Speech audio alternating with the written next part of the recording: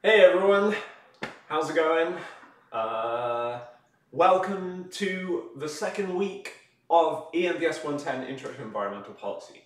So today what I want to talk about in a relatively short video, I want to keep this under 15 minutes, uh, is to basically go over one of the key concepts for the class, which is democracy. What does it look like in the abstract, and what is it supposed to look like in practice? So we're going to deal with two theories of how to define democracy uh, and what it should mean. Uh, and then we're going to look at four different ways in which the US tries to implement democracy. Uh, so the actual practice of democracy. And so at the end of this video, I'm hoping that you will have like uh, two different abstract yardsticks uh, to sort of measure democracy against, like you'll know what it should look like, um, so you'll know whether the US is living up to it or not. Uh, and then you'll have like four um, like actual tangible ways that you can think about, okay, well, this is how they're trying to do it. So you've got um, something to measure against and four things to measure. Um, yeah, so does that sound like a plan? Hopefully it does. So, uh, the reason that we're doing this is because um, in order to evaluate the outcome of a policymaking process, uh, in order to know whether the policy decision that's going to be implemented is actually going to solve the problems that we kind of looked at last week, uh, you need to know how it's happening. Um, so to figure out whether the policy decision that's being made is good or bad, um, knowing how they arrived at that uh, can be really useful. Um, we're taking policy really broadly, um, so any like collective decision, uh, the most important ones that we're going to look at will be the ones made by government, but really you can think of any group, even an unofficial club, uh, as having an environmental policy. If they're making collective decisions, uh, and those collective decisions are affecting the environment in some way, then that group has an environmental policy. So Knox College uh, has environmental policies. Uh, it makes collective decisions as an administration, as a community, and those decisions affect the environment. The ones we're going to look at are not the ones made by private actors, they're the ones made by public actors, so the official government. Uh, and this is just a picture of um, Nicolas Cage uh, stealing the US Constitution. Uh, Nicolas Cage movies actually have a lot to say about what's going on at the moment. Uh, the Wicker Man, he's in that movie, uh, and he says, Killing me won't bring back your goddamn honey. Famous line from that movie, classic Nicolas Cage performance. What could be more relevant uh, to today's trade off between human lives um, and the value of the stock market than Nicolas Cage teaching us that killing me won't bring back your goddamn honey. Uh, what was the other one? Oh yeah, Con Air. Have you seen Con Air? Um, in that movie, you know, uh, fuck COVID 19. John Malkovich in that movie is one of the best airborne viruses of all time. Uh, he plays Cyrus the virus uh, who hijacks an aeroplane. Anyway, that's Nicolas Cage. Also, one time I went to New Orleans and I was, um, I didn't actually pay to go on the like tour of cemeteries, um, but I was just like hovering in the background behind a tour group. And the tour guide was saying that you can like in the gothic cemeteries in new orleans you can still buy like plots. Like if you want to be buried in, in those gothic cemeteries you can still purchase a plot and be buried there. Um, but if you do you have to make sure that your like grave site um, matches the gothic architecture um, and so if you buy a new plot, you have to still put like gargoyles on it and a sarcophagus and all the like proper Gothic architecture so it fits with these like really old cemeteries. Um, except for one person who decided not to do that uh, and bought a plot and erected like a giant shining white pyramid.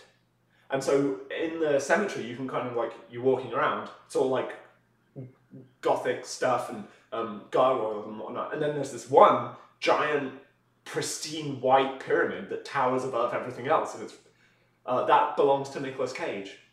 um, and he wants to be buried there.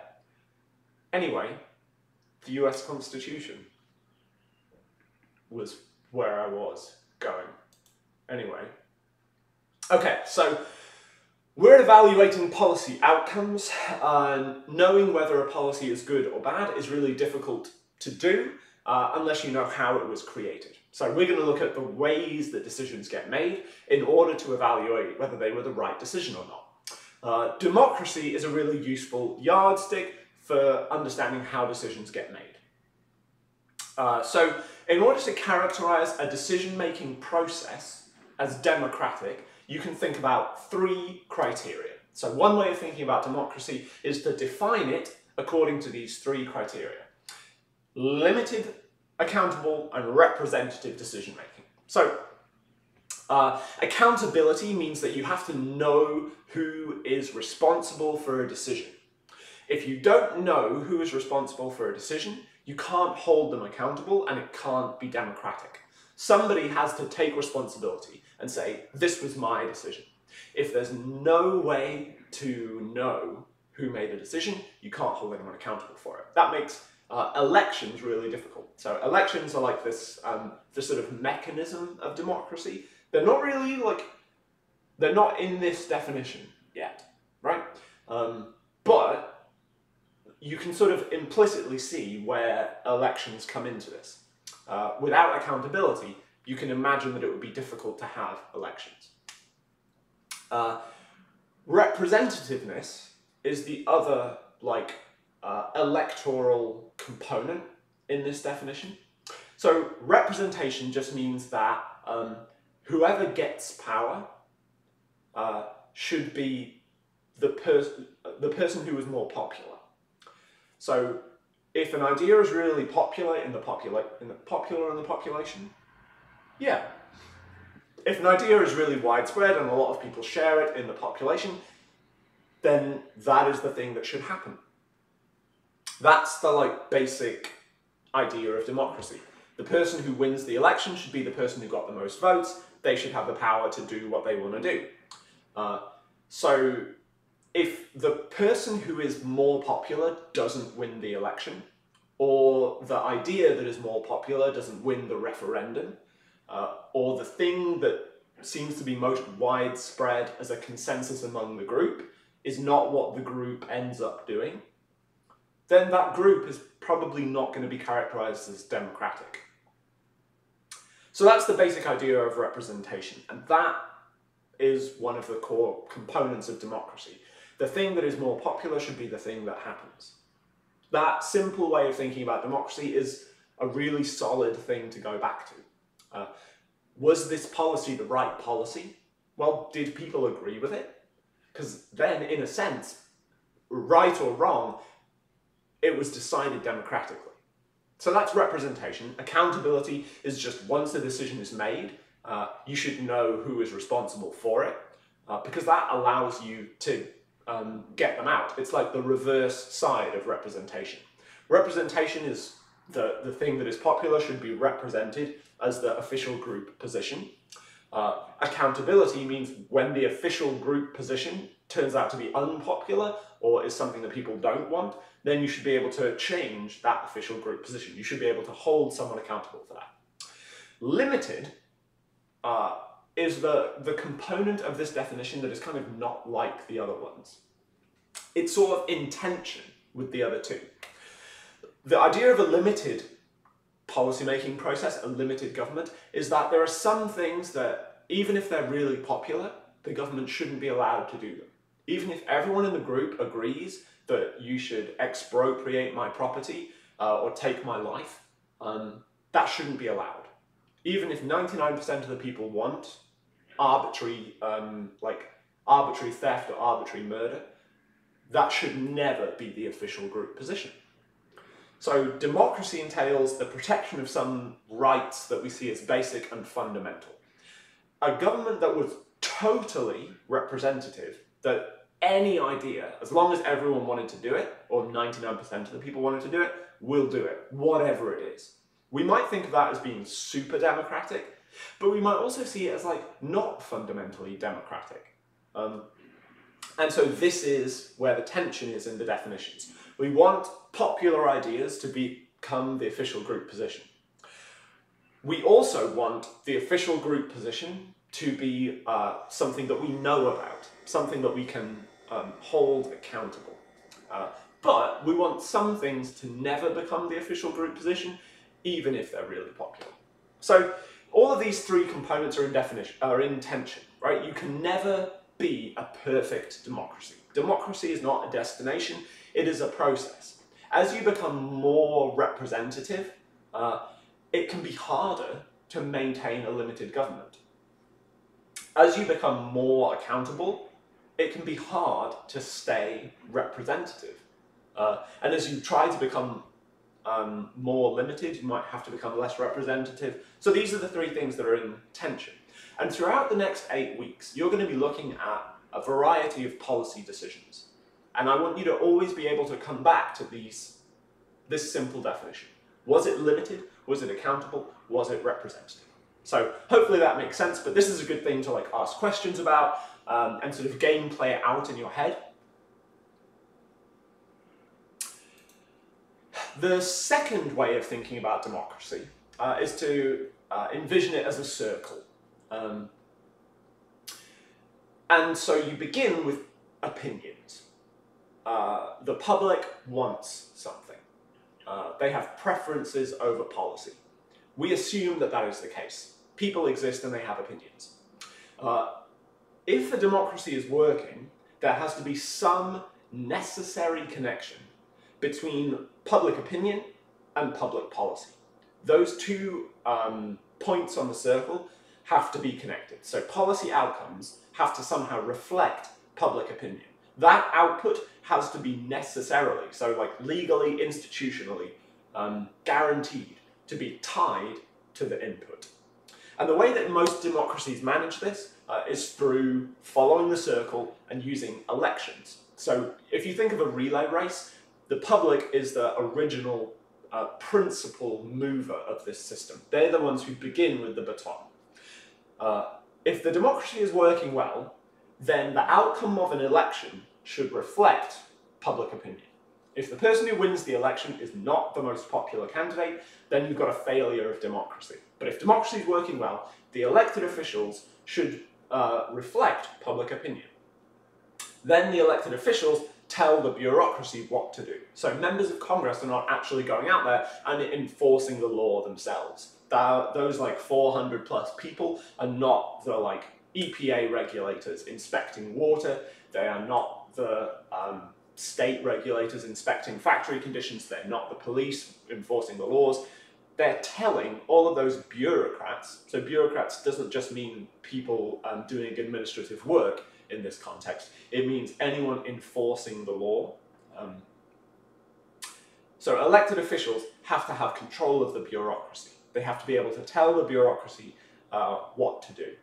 And so hopefully now you have the public telling the politicians what to do, the politicians telling the bureaucrats what to do, uh, and that's representation and accountability.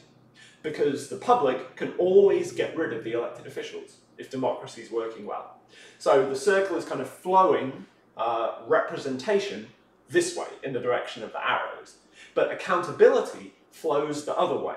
The bureaucrats have to be accountable to the elected officials like uh, if an elected official tells a bureaucrat to do something and the bureaucrat doesn't do it, under a democracy, the elected official should be able to hold that bureaucrat accountable. So the president, as an elected official, should be able to hire and fire people in their administration in order to make sure that the bureaucracy is going well. So we have the public, we have the elected officials, we have the bureaucrats, we'll have the judiciary sort of overseeing everything that the elected officials and the bureaucrats do. Uh, and then once all of those three branches of government, so the elected officials the legislative branch, the bureaucrats are the executive branch, the judiciary is the judicial branch. Um, you probably saw that coming. Uh, once all of those branches are working in tandem, you have a policy outcome. You have a state of the world that is realized as a result of the um, uh, preceding steps. That state of the world is judged by the public. The public then decides, should we vote for the incumbent and keep the policy outcomes the way they are, or do we want some? Is this actually like not quite reflecting our opinions? Do our prefer are our preferences for something different? In which case we might vote for somebody else. So this definition, this way of thinking about democracy, is not different than the uh, than the other one. The other one is just saying a good democracy should be limited, accountable, and representative. Uh, this way of thinking about democracy just kind of shows you how those steps work.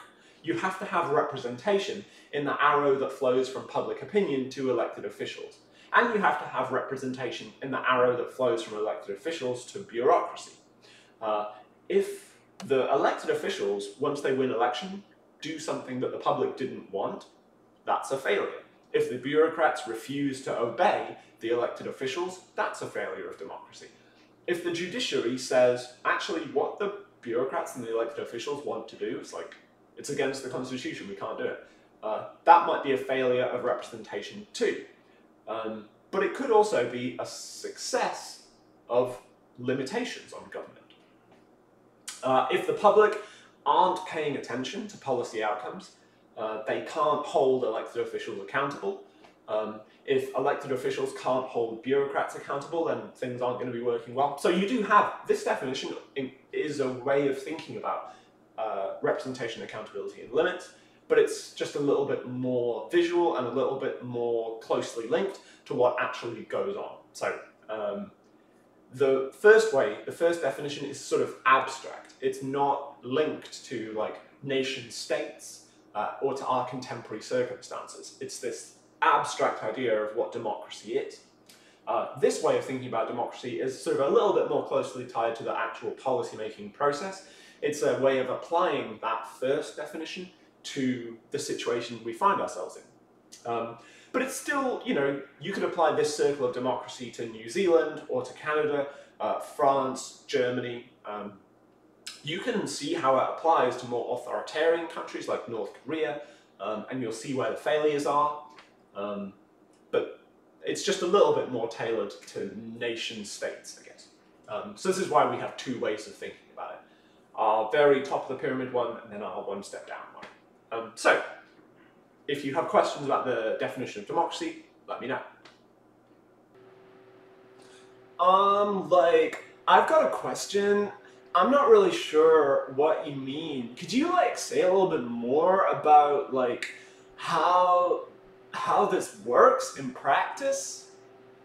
This may, those two ways of thinking about democracy may or may not uh, match up with what you think about when you're considering whether the United States is democratic. So uh, here we have two different like ways that people have implemented a, an actual empirical measurement scheme for the concept of democracy. Uh, and this is where the US uh, ranges on those measures. So the most widely used measure of democracy by comparative political scientists is probably what's called the polity scale. So the polity project measures democracy uh, with a, a, strong emphasis uh, on the idea of representation and accountability. Um, and I think it pays less attention to that third component of democracy, the idea that there should be limits. Um, so you'll see where the US scores on the uh, chart it hits a 10, the maximum on the democracy scale, right after the Civil War. Um, when there are still massive like uh, voting restrictions throughout the South on people of color, uh, particularly black people, uh, and when there are still um, uh, women still don't have the vote. Um, and so to score the US as a 10 out of 10 for democracy without including those components maybe doesn't reflect um, people's lived experience of having their fundamental rights violated. Um, but on the other hand, if you're looking for a measure of democracy that you can kind of use to gauge like where the whole world is on democracy um, over hundreds of years, you maybe don't want something that uh, focuses on that. Maybe you just want to get a sense of like, okay, compared to like feudal Europe, uh, and the level of democracy that they had there, when did the US start to be like fully democratic in the sense of like groups competing relatively peacefully over um, power. So when was at least like the limited group of people, the sort of homogenous group of property-owning white men, uh, when were they, like within that group, making decisions democratically um, without looking at like the uh, extent to which that homogenous group fully represented the very heterogeneous society. Uh, another interesting way to think about whether the US is democratic um, is to bear in mind that like if you're designing a new constitution, why would you agree to a new constitution that gives you less power than the old constitution? So the US was never trying to be a perfect democracy. The people who were writing the constitution were trying to make sure that they wouldn't have like too much democracy, you know? Um, they were worried that the people would have like an inappropriate level of power. Um, you can think about democracy like, uh, or at least like, you can, you can kind of imagine the way they were thinking about democracy being like tequila, you know, like one shot of tequila is like, oh, okay, cool, thanks. Two was like, oh, all right, we're having a night like that. But three shots of tequila, you've kind of gone off the, it's like shuffleboard, you know, you want to get as close to the edge as possible, but if you go off the edge, nil point. Um, and so, you know, you have too much democracy, you can end up getting rid of some of the like limited ideas. Um, and so populism uh, is something that people think of as like democracy to excess. Um, so people just doing whatever is popular, even if it's like only popular for a second and is actually like a super bad idea. Um, so one of the sort of problems of democracy can be um, that we don't like always know how to measure those three components together and come up with an overall index of like, are you democratic? Uh, and also like recently the US, uh, through phenomena like gerrymandering, has actually become seen as like less democratic because it's harder to hold people accountable. Uh, there's also many other problems with democracy, um, but that's a few. Um, okay, so now I want to think about uh, how the US actually tries to implement democracy in its policymaking process. And I want to look at four institutions. So, the first is the voting system. This is really fundamental. Perhaps the key link between um, in the sort of circle of democracy is the first one. Uh, how the public is asked for its opinion. Public opinion is like the fundamental driver of democracy, you know? Um, but when you think about how to measure that, it's actually really difficult. People have, like, there's millions of issues, right? There's like, uh, what kind of, there's all the different environmental issues that we, that we could think about. Like, what's your opinion on uh, water quality? What's your opinion on air quality? What's your opinion on climate change? Public opinion has like millions of dimensions, even when we just think about environmental policy. Uh, and then think about all the other types of policy. Uh, what do you think about like Medicare for all? Uh, what do you think about um, nuclear disarmament? Uh, what do you think about free trade? Uh, what do you think about the death penalty? Um, so if you wanted to measure what does the US public think, you would have to ask them millions of questions. Because there's millions of different things that you could have an opinion on. And then you need to do that for all people in the US. So you have to ask millions of people each millions of questions. So then you've got a spreadsheet with like millions and millions of rows and millions and millions of columns. Uh, and when you think about that as just an engineering problem, just as a mathematical problem, that's like an almost infinite amount of variation. How could you ever take that spreadsheet uh, and come up with a, a single government budget that accurately represented all of that information? It's mathematically impossible. The deeper you get into this, uh, you start to think about, uh, oh, there's a discipline, a sub-discipline really called social choice uh, which is basically attacking the problem of democracy with mathematical tools. Uh, how do you figure out what the best thing to do is? Um, and the results from that sub-discipline are that there's really no mathematically accurate way to do it, which shouldn't really surprise us. Um, this is why social science is like perpetually interesting. There's never going to be like a full democracy. We will never get there, which I guess is like, you know, kind of okay because like I like to think that, that, that like we would have figured it out by now if it was possible to figure out. You know, this is like a really fundamental problem. How do we live together? Um, and like, if there was an actual solution, if there really was like a factual best way um, to take millions of different opinions and amalgamate them into one group decision, if there was truth out there, I like to think we would have found it by now. And so it's kind of reassuring to have like mathematical proofs saying, no, there is no truth out there. There's no best democracy. We are always going to fight about this. Um, because there's no answer that's going to keep everyone happy. Um, every decision will have winners and losers. And so we're always going to have to work. Um, and there will always be a role for like trying to get better at this, uh, which I think is kind of um, encouraging because it means we can always do better. There's always room to improve, and that means there's, there's, there's always a point to trying to like make a difference because you can always, anyway, you know what I mean.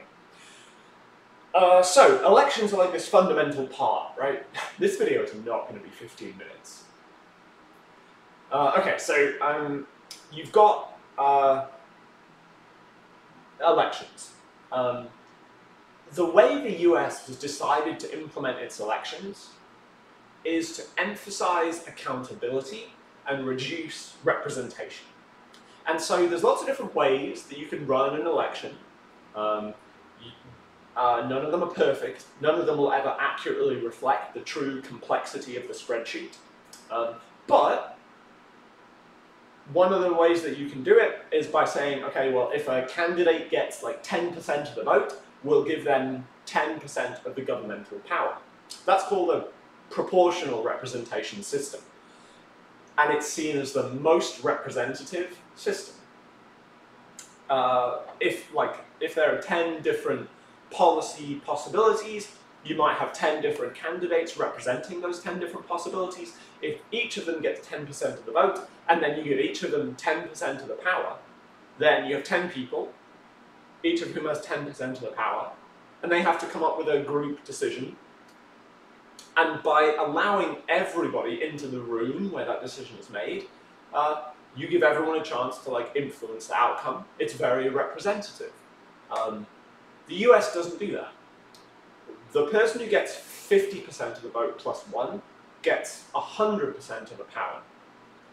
A member of Congress can ignore 49% of their district as long as they know they can count on 51%. It's always really clear who your member of Congress is, so you can always hold them accountable, and if they do something that you don't like, you can always vote them out of office. There's only one of them. If it was that council of 10, you might not know, okay, so, so something went wrong. Uh, let's say you want to hold the council of 10 accountable and make sure you get a new council of 10 next time.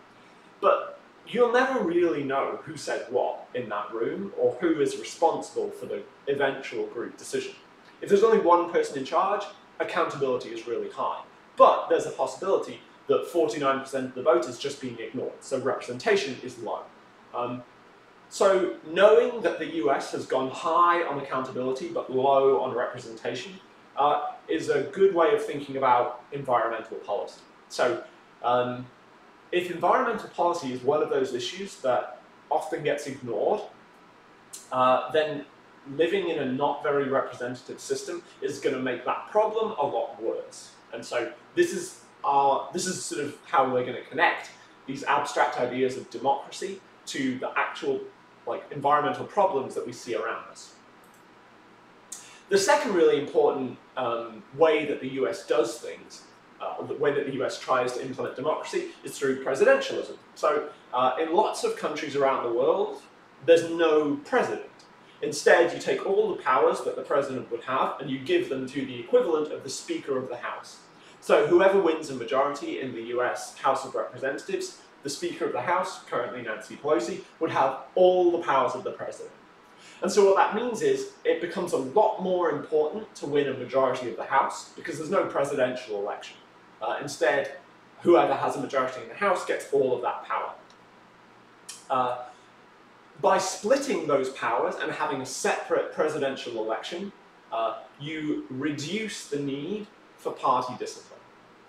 So the president, right now, doesn't have a majority in the House of Representatives, but that doesn't really matter. Uh, they're still the president. Uh, and so they don't necessarily need the support of their party as long as they can be personally popular. Uh, and so that means that they can assemble like a coalition of people um, that doesn't have to be quite as broad. Um, they can win a majority of the electoral college and not bring the majority of the country along with them, uh, but it doesn't really matter. It's they still get power at the end of the day, uh, and so that tends to again improve accountability. It's really clear who the president is, and they will get blamed for things. Um, but it's less representative, you know. Um, in a parliamentary system, so where there is no president and the Speaker of the House has all the powers, um, it, the party tends to be a lot more unified and a lot more disciplined. So party unit, like people think of the US as being like a polarized system with two really different um, and quite homogenous parties. There aren't many left-wing Republicans and there aren't many right-wing Democrats. And that's, you know, true in a sense. But if you look around the world, a lot of other countries actually have like much more distinct parties than the US. Um, so you may think you live in a polarized system, and you certainly, by comparison to US history, live in a relatively polarized time. Um, but that's not likely to be uh, a permanent feature uh, of US discourse. And for most of US history, the parties have actually been closer together, um, and partially that's a feature of presidentialism.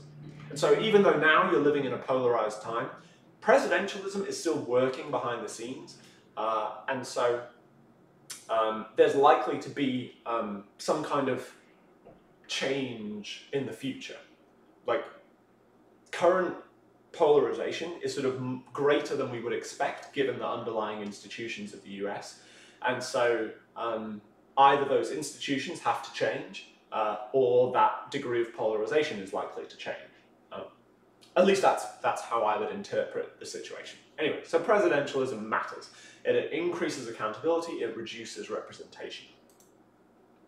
Uh, so federalism uh, is the third institution that we're going to look at a lot during this course uh, as an example of how the policymaking process is structured um, to produce outcomes that are like, you know, either more or less democratic. Um, so presidentialism, uh, so federalism, sorry, is just the idea that there has to be at least two levels of government and each of them has to have final say over at least one policy area. So in a country that's non-federal, so unitary, um, the, the central government has final say over all policies. Like you will still have like a local mayor uh, or like a regional council or something, but they can always be overruled on everything um, by the central government. Federalism just says, you know, there are some things that we don't allow the central government to overrule the local government on. Uh, so in the original US Constitution, anything that wasn't explicitly given to the central government was retained by the states uh, as their jurisdiction. Uh, this was, so federalism is often like not something that people choose because they think it's good for democracy, but it's like a short-term constitutional expediency to deal with an external threat. So, uh, in the case of the United States, federalism was a response to the threat from, you know, I'm just going to say it, Britain. But we don't, you know, we're all over it by now. Um, so uh, federalism is kind of like this holdover from an original, like something that was a big issue 200 years ago, uh, but now much less so. Um, but it still carries on and it still has influences on uh, environmental policy. Uh, it tends to um, improve like uh, representation because it's less likely that a central government will sort of overrule a minority opinion. Um, so it allows policy to be more tailored to individual uh, states, right? If you have 50 different states that can all do their own different things, that can improve representation. Um, but it can also like reduce accountability. Uh, so this is one of the ways in which the US has kind of like um, tried to balance out uh, its very accountable but less representative institutions with another institution that sort of improves representation but reduces accountability. An interesting thing to think about here um, is whether this is good or bad for policy. Um, so do states work together uh, in order to represent their citizens or do they compete with each other? So recently we've seen states bidding against each other for uh, personal protective equipment to deal with the pandemic. Um, this is an example of federalism sort of working maybe to the detriment um, of some citizens. But either way, it's a really important structuring dynamic for how democratic policymaking works in the US. So we need to know what federalism is, and that's why we'll do um, so many days on each of these four institutions. Uh, the final one we're going to think about in this course is the separation of powers. So you have your legislative, you have your executive, you have your judicial branch, and they each have separate like ways of um, gaining power. So you have separate elections for the president and separate uh, elections for the House and the Senate. So the legislative branch is separated from the executive branch. Um, they cannot um, get rid of each other, right? Uh, in a parliamentary system, if the if there's a no confidence vote in the speaker, there has to be, uh, or, you know, 99% of the time there has to be an election. Um, because if you don't have a majority in the House, you can't be the Speaker, so you can't be the Prime Minister, uh, which is what we would call the combined Speaker-President role. Um, so the Prime Minister would have to resign if they lost the support of the legislature. Uh, the President doesn't have to resign if they lose the support of the legislature. They have separated powers. Uh, this encourages compromise and so perhaps encourages representation but reduces accountability.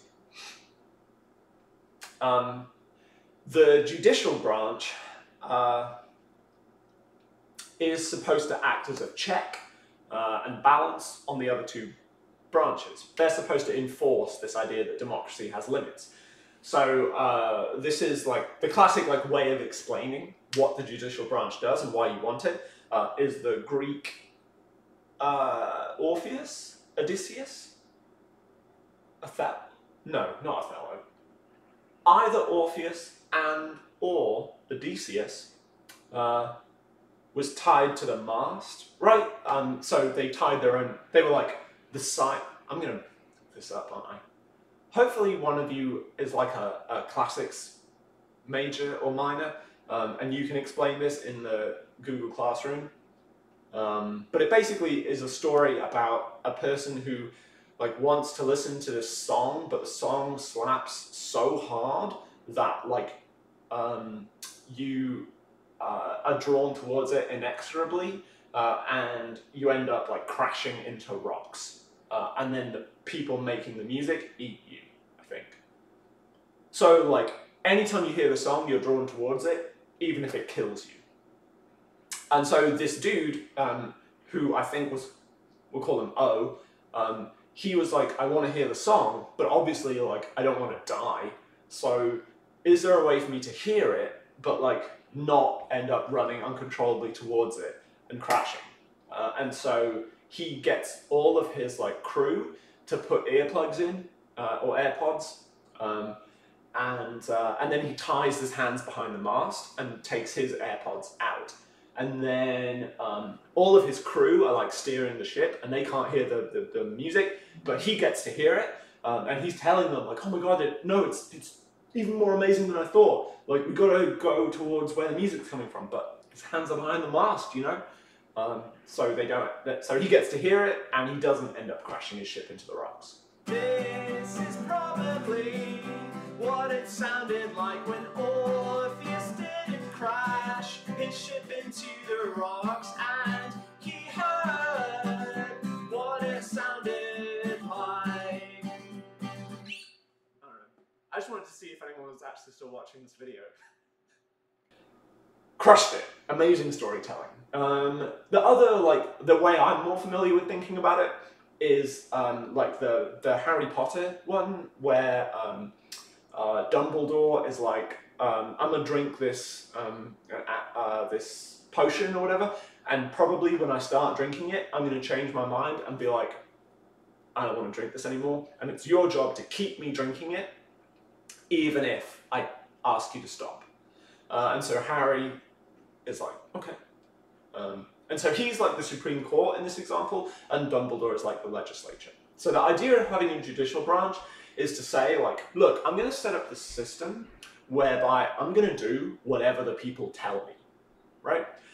But here is a list of 10 things that, like, even if the people tell me to do them, you have to stop me, right?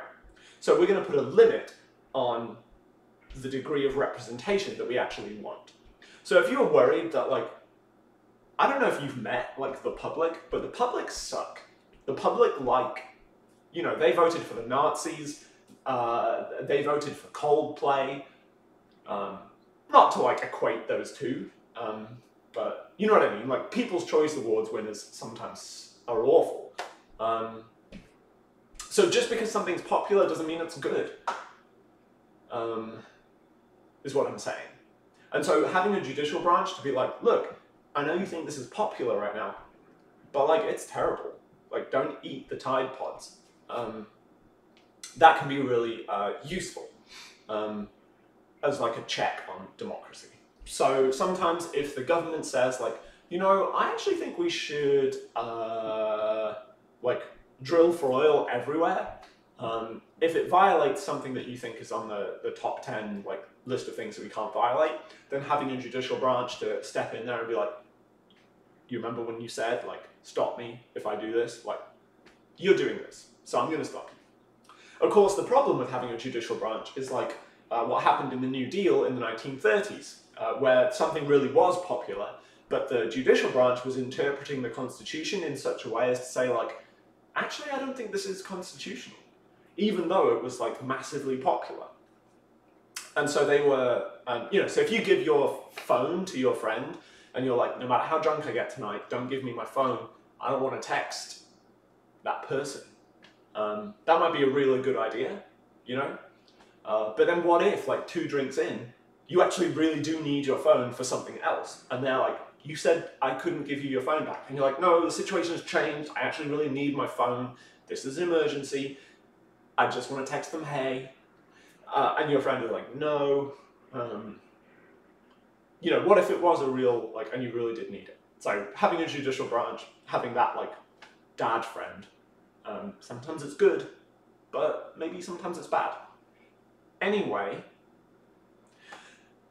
these are the four ways in which democracy, democracy um, actually, tangibly, I can bring it to you on a plate, structures policymaking in the US. So, um, as we fulfill the goals of the class, as we figure out like what, how does policymaking work, who is likely to win, uh, and how can I change that? Um, these are the four institutions where if you know them inside out and you know how they actually work, um, you can kind of figure out, okay, well, look, okay, this person is represented here, uh, but they don't have power over this. Um, these are the people electing this particularly powerful individual. That's how you can start to figure out, like, how does policymaking actually work? Um, what, what does the public think? So, so this is why we're learning about all of this. Uh, so, the final thing that I wanted to say um, is a slightly different perspective on democracy uh, from Angela Davis, uh, who wrote this book, Abolition Democracy. Um, and so what she's saying is that if you want to change the way democracy works, if you're like, okay, this group, um, because of the way democracy was designed 200 years ago, the like 10 fucking people who live in Wyoming have as many senators as the like tens of millions of people who live in California. And like, how is that democratic? One group is being massively overrepresented and one group is being massively underrepresented. So from a perspective of thinking about democracy, like how does that make sense? And so her argument is that if you want to change the outcome of democracy, don't just try and win an election. change the way elections are run and you will influence not just the decision that you care about now, but all future decisions for all coming time. Changing the rules of the game is so much more powerful than just winning the game once. Uh, whoever you want to be the president in November, they're going to have to operate within the system that we're studying now. And that system puts massive limits on what even one person can do. And so unless the constitution changes, the same groups are going to be overrepresented and the same groups are going to have their voices silenced. She also argues that it's not just enough to change the institutions to something more representative, more democratic, more authentically, sincerely representative of the massively heterogeneous US society that you live in. It's not just enough to, to, to change those institutions. You have to change them in such a way that doesn't just get rid of what was happening before, but that like um, incorporates what was that like um, compensates for what was happening before. It's not enough to just create a level playing field after hundreds of years of the, of the playing field not being level. You have to then also like allow people to take advantage of the level playing field by making up for what happened in the past. So as we think about is the US democratic? Is environmental policymaking being done in a democratic way? Are we representing people's true opinions about this? Are we able to hold accountable decision makers who do things that are not good for the environment? And do we have a good idea about what the limits are uh, of what we should be able to do on the environment? As we think about all of those things, think it's, it's really important to bear in mind that like the perfect set of institutions is not going to be the same for every society. And a set of institutions that was more representative, better on democracy, however you think about it, like more, maybe you care more about accountability, or you care more about limits, or you care more about representation, whatever you think, you have to factor in the importance of the trajectory of history up until that point.